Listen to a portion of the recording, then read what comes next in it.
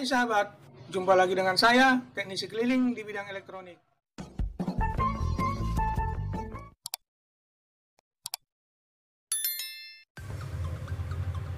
Di video kali ini saya akan bertutorial membuat lampu LED super awet.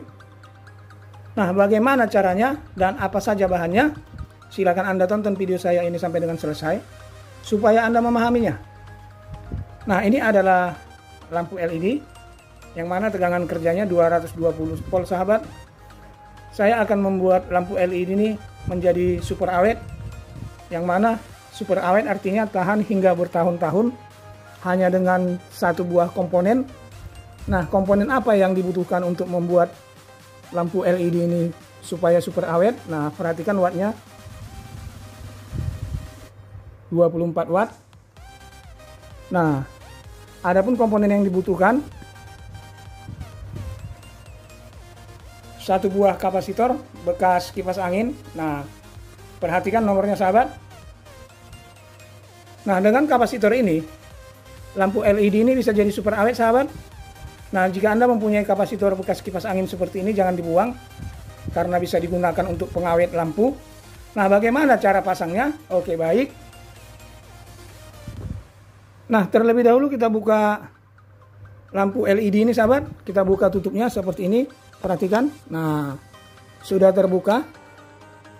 Nah, perhatikan di lampu LED ini. Di setiap lampu LED ada komponen seperti ini sahabat. Nah, ini komponen dioda petak atau dioda sisir. Yang mana kegunaannya ini untuk membuat arus DC. Ini adalah arus AC-nya, inputnya dibuat dioda supaya arusnya bisa menjadi arus searah. Nah, kalau Anda tidak percaya kita tes, sahabat. Kita lihat. Nah, di sini saya ada tester. Nah, kita akan mencari jalur dioda ini tadi. Apakah benar jalurnya ke AC input 220 volt? Perhatikan sahabat. Ini tester jika saya shortkan hidup. Nah, lihat. Nah, kita ukur dari sini Nah, di sini ada jalurnya. Perhatikan dari sini ke sini dan ini dari sini ke sini. Nah, lihat. Saya tes. Nah, hidup artinya jalurnya menyambung. Satu lagi. Nah, hidup. Nah, untuk pemasangan kapasitor ini supaya lampu ini menjadi super awet, kita pasang di antara kaki dioda yang menuju ke AC input 220 volt Nah, kita buka satu kakinya sahabat dari selerannya. Yang di sini boleh, yang di sini boleh. Nah, kita buka. Nah, kita putus jalur ini sahabat antara satu. Boleh pakai pisau. Nah, ini ada jalurnya perhatikan. Jalur dioda ini kita putus supaya tidak berhubungan ke AC input. Nah, kita buka kita putus seperti ini sahabat.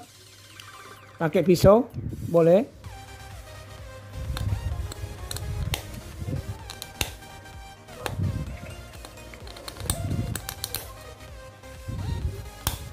Nah, setelah cara-cara putus, kita ukur apakah masih menyambung.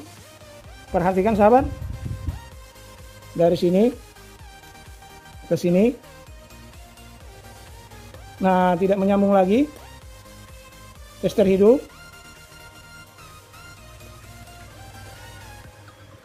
Nah, tidak menyambung lagi sahabat.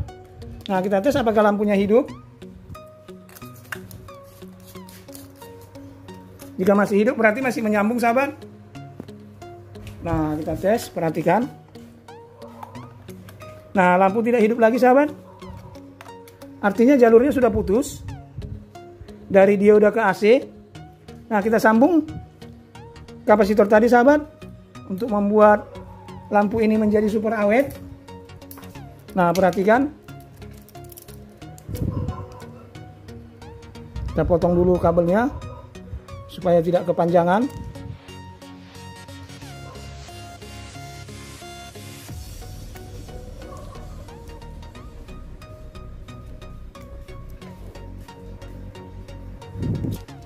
Nah, seperti ini. Nah, kemudian kita solder. Kita solder, sahabat.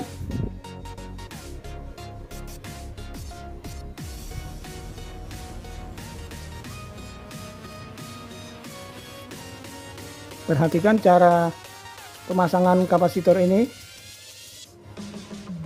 Karena dengan kapasitor kipas angin ini dijamin lampu kita awet sahabat hingga bertahun-tahun. Nah, perhatikan cara pemasangannya. Di kaki dioda satu yang kita putus tadi jalurnya. Nah, di sini perhatikan. Di sini. Ini jalurnya sudah kita putus.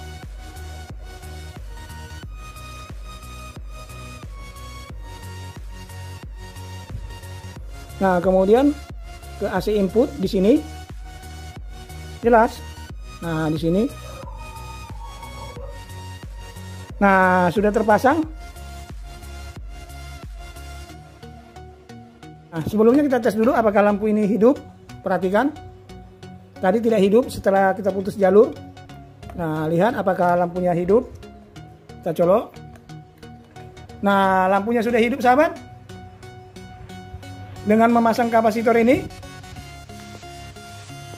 lampu ini awet. Nah kemudian kita lem di sini. Sebentar saya lem. Nah kita lem dulu sahabat. Karena kita akan buat di sini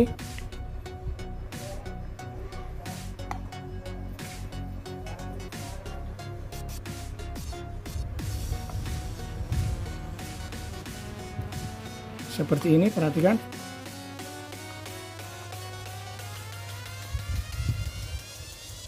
Boleh.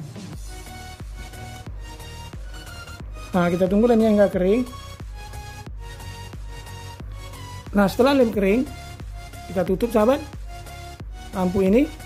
Nah sekarang lampu ini sudah menjadi lampu super awet tidak mudah rusak tahan hingga bertahun-tahun nah kita tutup seperti ini. Kita tutup seperti ini tes. Perhatikan. Nah lampu hidup terang. Tidak mengurangi penerangannya sahabat dengan memasang kapasitor tadi. Mantap. Nah demikian. Semoga bermanfaat. Terima kasih anda telah menyaksikan video saya ini. Sampai jumpa pada video-video saya berikutnya di video berikutnya saya akan mengulas lagi tentang ilmu teknik yang lain. Jangan lupa kritik, saran atau komentar silahkan tulis di kolom komentar dan salam kreatif.